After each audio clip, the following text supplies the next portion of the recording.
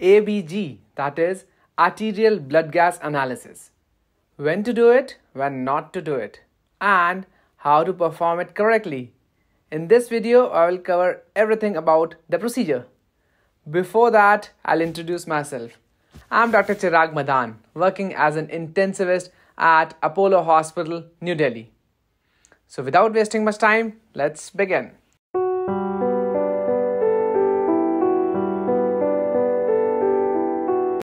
With the help of ABG, we get to know oxygenation of the patient, the ventilation of the patient, and acid base balance grossly, right? Now, whenever you have to proceed with the procedure, the first and foremost thing you need to do is to take a written informed consent from the relative or the patient if conscious and that that should be done ideally right now in this consent first of all you need to explain to the patient or relative why it is needed. So first whenever the patient has any kind of respiratory pathology like patient has an impending respiratory failure CO2 narcosis patient of copd or pneumonia nowadays covid pneumonia. So any respiratory pathology, right, in which you need to check for the ventilation, that means the PaCO2, or the oxygenation, that means PaO2.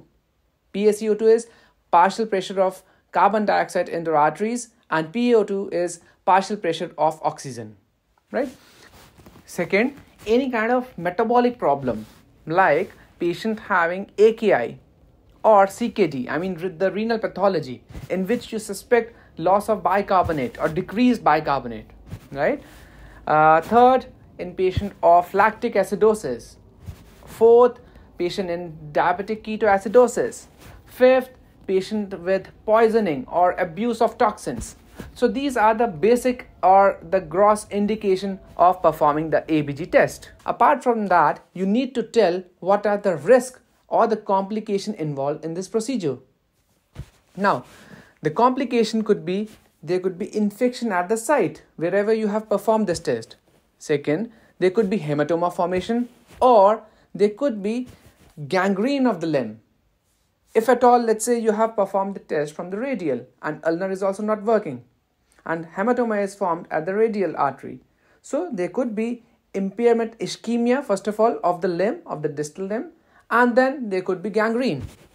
So these are the risks which are involved or the complications which are involved with this procedure. Now, you need to also know the contraindication. Again, the first is the local infection at the site. Second, any kind of peripheral vascular disease. Third, AV fistula on, on that same limb. And relative contraindication is patient having coagulopathy or patient on antiplatelet anticoagulants. Right? So these are the basic things which you need to do before performing the test. ABG sampling can be performed from various sites like radial artery, brachial artery, femoral artery, dorsalis pedis artery. Uh, but the most preferred is always the radial artery because it is the most superficial and has a good collateral circulation. But whenever you have to go for ABG sampling or arterial cannula, in the radial artery, you have to perform, in fact, you should ideally perform modified Allen's test. Now, I'll tell how to perform that. Ask the patient to raise the limb and clench their fist. Then occlude both the radial and the ulnar artery simultaneously and then ask to open up the fist. You can see the blanching over the fingertips and the palm. Release the pressure from ulnar and you can see the return of color on the palm. Now, if this doesn't occur within 5 to 15 seconds, this test is considered as abnormal. The modified Allen's is abnormal. That suggests ulnar artery is not patent and it is not safe to either cannulate the radial artery or to take ABG sample from the radial of that limb. Coming on to the main part, that is the procedure. Step 1 arrange all the equipments as you can see over here. A pair of gloves, skin disinfectant or you can use alcohol swab, gauze pieces, local anesthetic agent which is lignocaine that too 2% and a pre-heparinized syringe and a 26 gauge needle. Step number 2 Palpate the radial artery using two or three fingers and see the course of the radial artery as well. Step number 3 Slightly extend the wrist using a normal saline bottle or a betadine bottle. Step number 4 Clean the site in a circular manner with alcohol swab or skin disinfectant. Step number 5 Infiltrate local anesthetic agent. But before that, you need to aspirate and then instill local anesthetic agent. And you can see the wheal over there and do in a fanning manner. Step number 7 Palpate the radial artery and having a pre-heparinized syringe in the other hand go at 45 degrees angle ideally you should see blood in the hub. But as this is 26 gauge needle so we have to pull the plunger slightly. And you can see the blood. Step number 8 discard the needle and remove air from the syringe. Now after performing the test you need to occlude the site from where you have taken the ABG sample for at least 3 to 5 minutes. And if the patient has any kind of coagulopathy, let's say patient has decreased platelets or uh, deranged INR, or patient is on antiplatelet or anticoagulant, then in those cases you need to press that, that site for 5 to 10 minutes.